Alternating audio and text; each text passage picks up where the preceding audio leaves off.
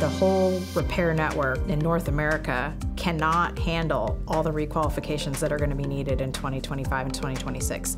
That means some of those cars are not going to get requalified in time, and as soon as you hit January 1st, you can't move that car.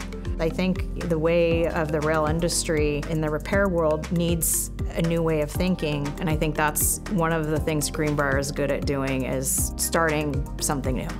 One of the things we're trying to focus on on the go forward is how can we actually implement more of the assembly line concept at our repair facilities to handle the larger programs. We're being agnostic to the type of facility and we're pairing up the repair network, which is a slower throughput, with the high throughput at Marmaduke, for example.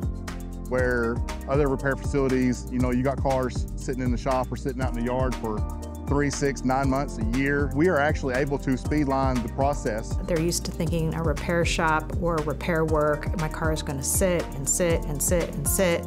But when I tell them I can turn it around in 45 days, they have to think about it differently. It takes a really good team. Um, your quality guys, your production guys, everyone's got to work together. Us being a new car facility, we're familiar with the car from start to scratch all the way through it, so nothing on a tank car we probably haven't done or messed with. They have eyes on the car before it gets there. They know what's going to be needed.